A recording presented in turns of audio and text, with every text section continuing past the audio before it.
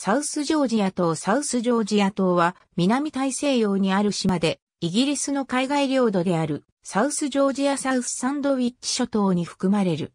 サウスジョージア島はコロネーション島の 830km 北東、サウスサンドウィッチ諸島北端のザボドフスキー島から 550km 北西にある。全長 167.4km で、幅は1.4から 37km である。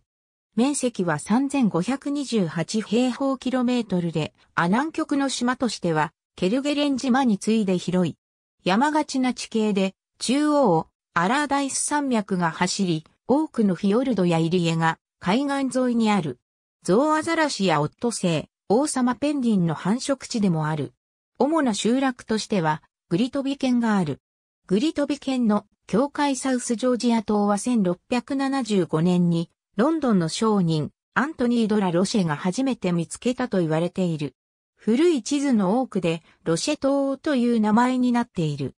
1756年6月28日か29日に、サンマロから航行してきたスペインの商船レオンに目撃された。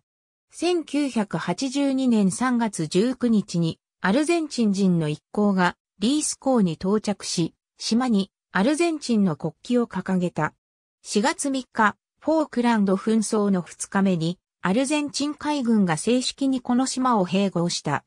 サウスジョージア島は、パラケット作戦により、4月25日にイギリス軍が再奪還した。この島の気候は、欠片の気候区分で、極地ツンドラ気候に分類される。氷土を覆う木はなく、4月から11月までの冬季は、おおむね雪に覆われている。ありがとうございます。